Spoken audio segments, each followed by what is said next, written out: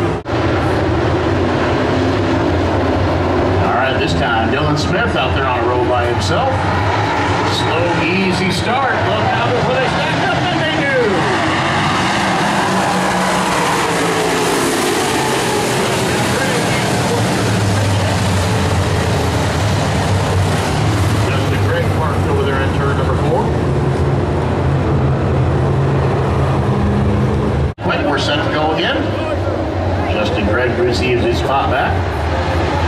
This time, are they going to stack up again?